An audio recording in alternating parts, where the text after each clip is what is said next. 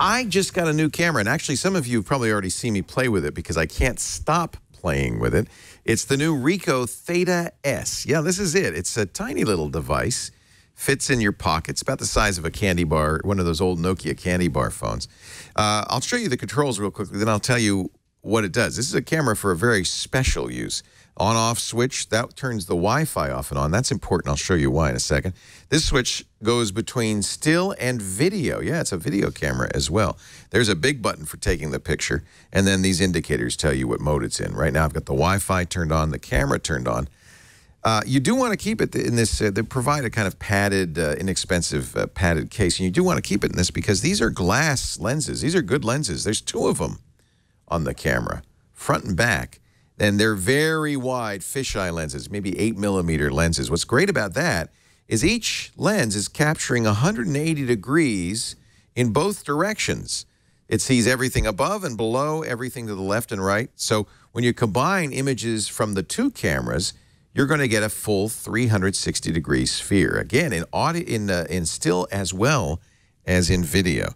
Now, you're going to need some special software, obviously, to use this. They have software available for Mac and Windows. You can connect the camera. It has a, a, USB connector, micro USB connector. By the way, it also has a mini HDMI connector. I'll tell you a little more about that in a second. So when you connect it up to the PC or the Mac, you offload it just like a regular camera. Or what's nice is you can use the Theta software for iOS and Android. I'm connected to the camera right now via Wi-Fi. The camera has is password protected so nobody else can join it. And I can control the camera via the Wi-Fi. That's really great. Yeah, allow it to use the location. So what you're going to see in a moment as soon as it copies over is the wide, look at that. That's the wide look that it's getting. Now, that's not what the image is going to look like, but it gives you some idea of what you're seeing including my hand holding the camera. All right. You do have a few settings here. You can change the uh, exposure, setting it up or down. Uh, and there are a few other uh, options that you can uh, mess with. I find that it's a you know it's like a point and shoot camera. It's pretty good. The video is 1080p, which is which is really good. It's fun to take high def videos. Then once you uh, take your image, uh, I'll show, actually let me take an image so we can we can play with it a little bit. So let me let me go out of this again and go back to the uh, Theta software.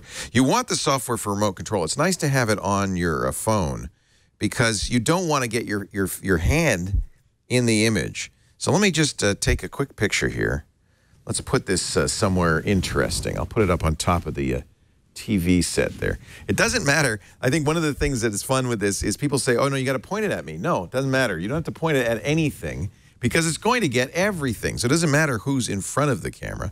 I'm going to snap the picture now, look nonchalant, and it's going to synthesize the image. It's going to copy it uh, over to the iPad where I'll be able to see it as a 360 degree image. Let's do that uh, real quickly.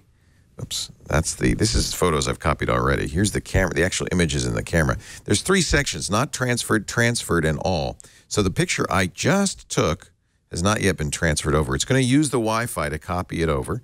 Just takes a few seconds. And the software itself is going to stitch the image and allow me to see it as a 360 degree image. This is the picture I just took. There's Carsten, our producer, sitting there. There's uh, John Slanina. Here I am right here pressing the remote button. Uh, it goes all the way around. Whoops, it's stuck here for a second. Maybe it, maybe it was just too big of an image. Uh, and now this image you obviously aren't going to want to upload. Hello? Yeah, something happen here? Let's uh, let's go out of it. Uh, I'll take you know I took some other images, uh, including some uh, videos here.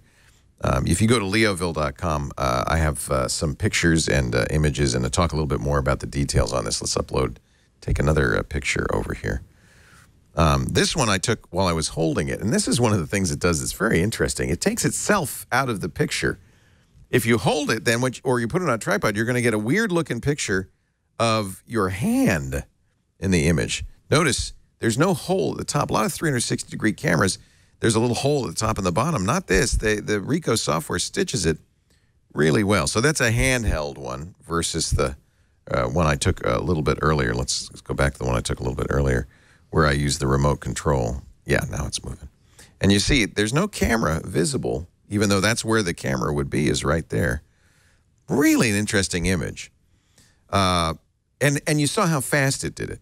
Video is even more intriguing. It'll record up to 25 minutes of, of video in 1080p. The stitching software it offers on PC and Mac uh, doesn't do a great job. It's pretty quick.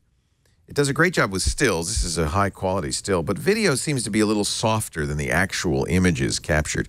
And I feel like in time, a better uh, uh, stitching software could come out. There is an API. Ricoh is encouraging people to write software that works with this camera, which is a great idea, especially because the one feature I'm most interested in, live video out, doesn't work currently. Yes, you can get live video out of there, but what you'll get is unstitched video.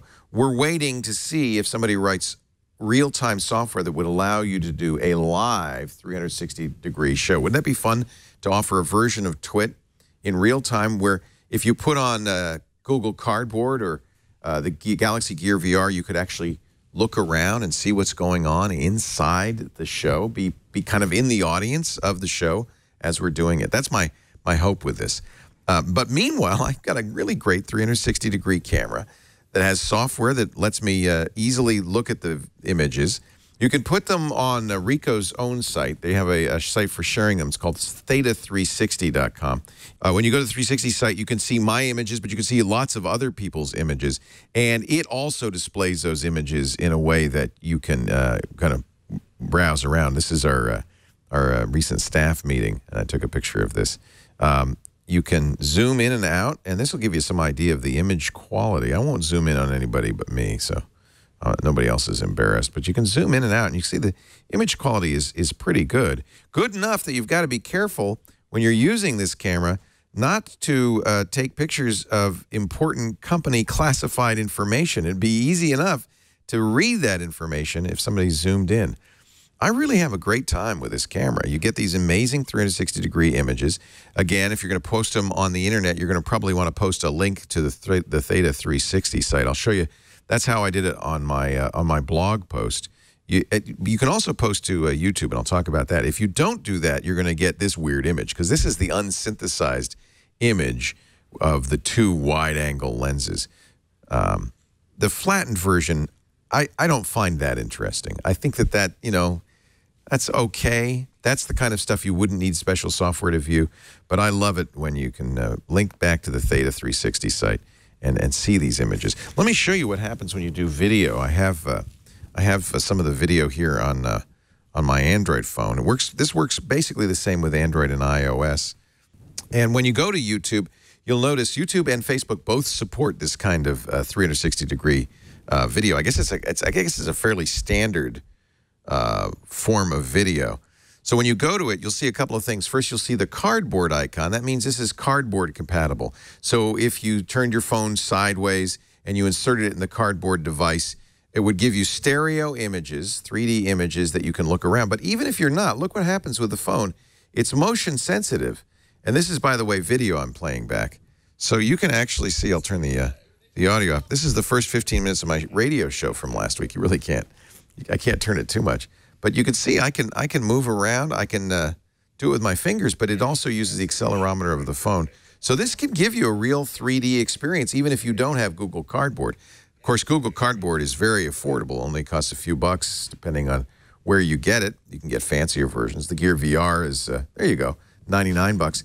Uh, but even on YouTube, you can you can move around like this. But you see, uh, if you look real, uh, just at the image itself, it's a little smearier than the stills. I think the camera is capable of better video, but the stitching software that Ricoh distributes for free with the camera um, is, uh, I think, tuned to be speedy, not accurate, not as accurate. Stitching, though, is very good. You very rarely will you see uh, any stitching uh, issues. Um, even even when you're looking at the camera, look down. You see that little line there? That's a that's the only stitching issue in this whole thing, and that's because it's stitched out the camera. That's the cam That's where the camera would be, and I don't find that a, a problem at all. So let's talk about uh, availability and the pros and cons. First of all, uh, as I, um, might have mentioned, I got this on Amazon, but it's back ordered. Uh, B&H Photo will also have it. $350. Don't pay more. I'm sure there are scalpers out there saying, oh, you know, you can get it for $400 or more, trying to make a little money off the fact that this is back ordered. But be patient. You will get it. I ordered it the minute they announced it. And I've been having a great time with it. It does, as I said, stills and video. So the pros and cons, the still quality is excellent. The video quality is potentially excellent, although the lack of good stitching software is definitely a con. Similarly, there's, as far as I know, Ricoh doesn't offer any live stitching software. So the fact that it has an HDMI port, while that's cool, is not yet. It's a future. Uh, the controls are easy. Uh, it has iOS and Android, uh, Mac and PC support. That's a definite pro. And I think $350 is an amazing price given what this camera is doing. The con, of course, is that's the only kind of picture it can take. And you can't just give those pictures to people. You have to post them on a site or stitch them in such a way that people can see them. Uh, it is a pro that you can post it on YouTube and Facebook now. The fact that they both support 360 degree video shows that there is a, you know, there's a lot of support for this kind of virtual reality. Think of it as a do-it-yourself VR still and video camera. And as far as I'm concerned, it's a definite buy. The Ricoh Theta S. You can expect to see a lot more 360 degree pictures from me. And I think the size is great because I'll be carrying this around uh, as I travel. And yeah, I'll be using my good cameras most of the time, but every once in a while I'll pull it out, get a 360 degree image, or a 360 degree video, even better. How fun is that to have that? Uh, and I suspect that uh, while it's early days for immersive video and VR, in years to come, this will be a very standard format. And uh, people will be very glad that Grandpa took the early 360 degree uh, pictures.